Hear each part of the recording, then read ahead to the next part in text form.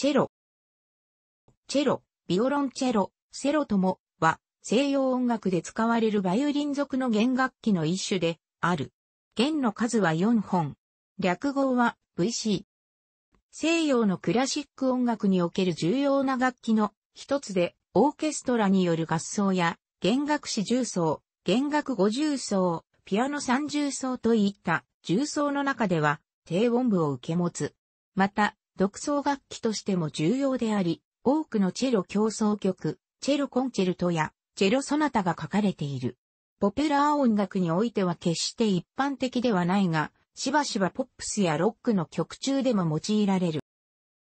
ベルリオーズの時代には俊敏性に欠けると言われた歴史もあるものの、現在ではバイオリンやビオラでできるゲートは現実的にチェロでも可能と解釈されている。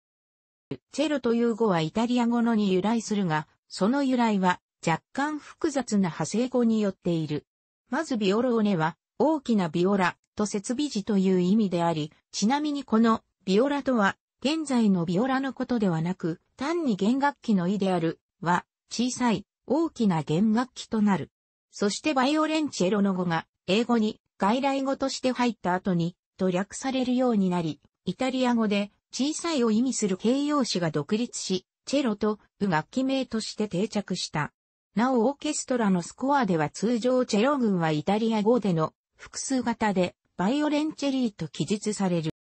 チェロは同じくバイオリン属の楽器であるバイオリンやビオラとほぼ同じ構造である。なお、コントラバスはビオール属の影響を強く受けているため、チェロなどの他の3つとは多少異なる。ただし、低い音を出すために、形全体が大きく、特に厚みが増している。また、チェロは、その大きさと重さゆえに、バイオリンやビオラのように顎で破産保持することが困難なので、エンドピンを床に立てて演奏する。本体の大きさに比べると指板はバイオリンなどより若干細めである。バイオリン属では低音楽器になるほど胴体と弦の角度が大きいため、バイオリンに比べると駒が高く丈夫に作られている。弓もバイオリンなどより太いが、長さは逆に短い。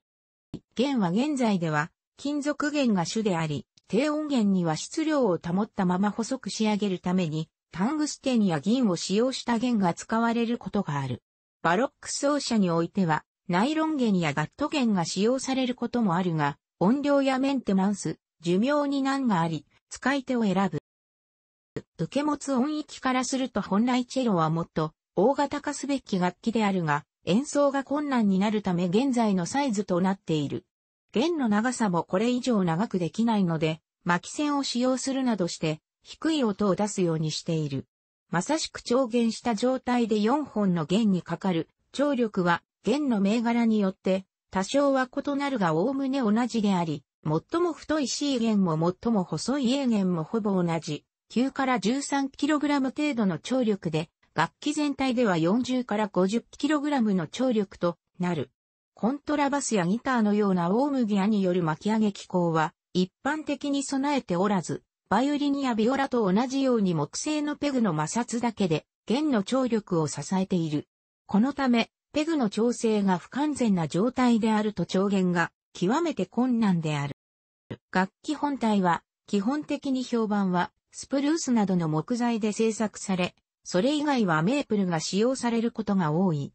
指板には通常黒炭が使用されるが、真っ黒な黒炭が枯渇して希少となっているので、茶色の黒炭を塗装して使用したり、廉価な楽器では塗装されたメープルが使用される。ドライカーボン製のチェロもアメリカでは販売されており、独特の音色と音量でユーザーが増えつつある。ドライカーボン製のチェロであっても、駒や魂柱は木製のものを使用する。非売品としてガラスやアルミ製のチェロも製作されたこともあるが、日常の演奏に耐えうるものではない。エンドピンには亜鉛の合金が使用されることが多いが、最近ではカーボンやチタン、タングステンなども使用されている。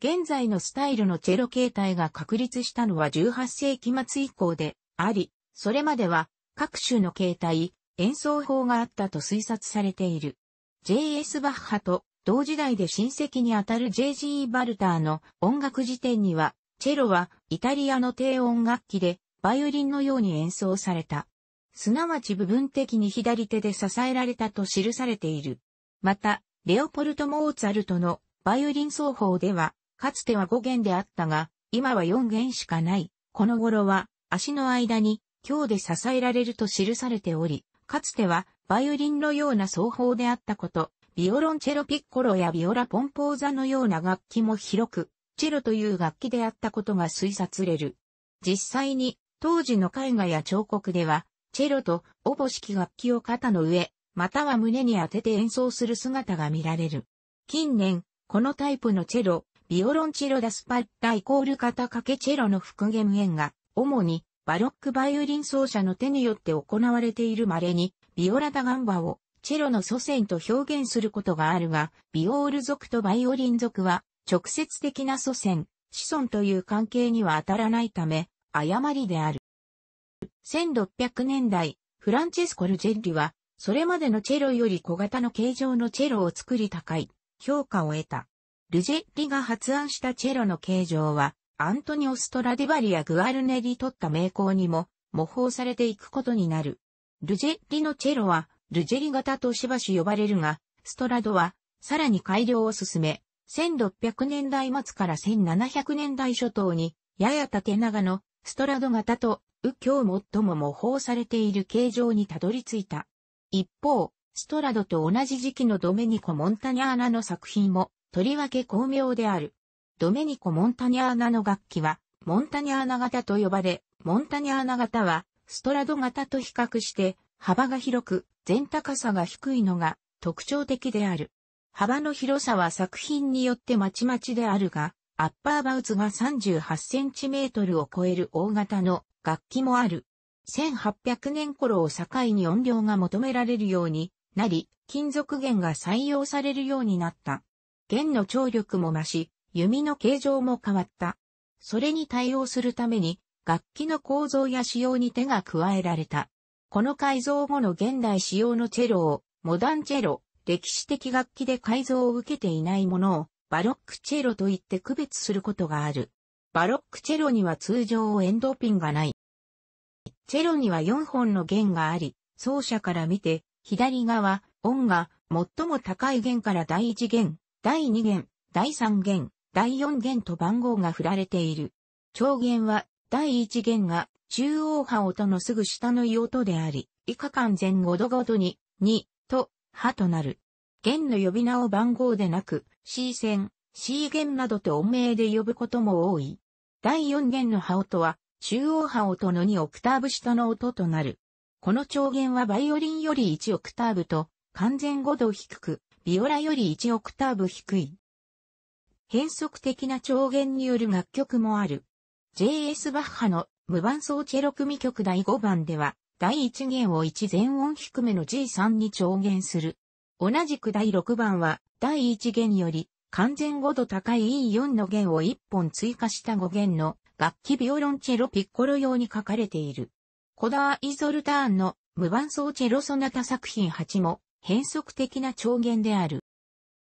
チェロは最低音の C2 から指板を抑える通常の方法のみによって4オクターブを超える広い音域を持つ。コマ寄りの弦を抑えることにより5オクターブまで発音することはできるが、それで曲を演奏することは技術を要する。一方ハーモニクスという手法を用いて、さらに数オクターブまで高い音を出すことも可能である。これはチェロが縦に構えられて演奏されコマ近くの弦を抑えるのが、バイオリンなどと比較して容易なことに起因する。このため、チェロ用に書かれた曲には、バイオリンやビオラでは音域が不足するために演奏不能な曲も多い。また、チェロの広い音域は単一の楽器だけでアンサンブルを組むことを可能としている。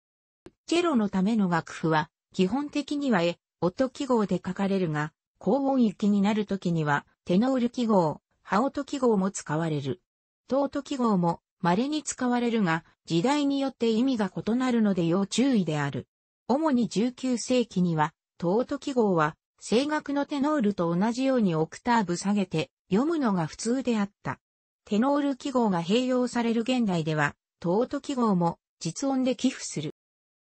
演奏法については、楽器の構え方が大きく異なっていたり、ポジションのシステムが異なっていたりはするが、バイオリンと共通する部分が多い。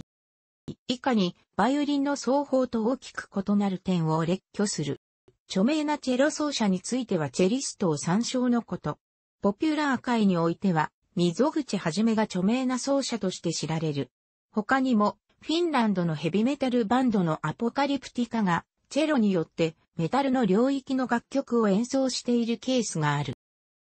楽しくご覧になりましたら、購読と良いです。クリックしてください。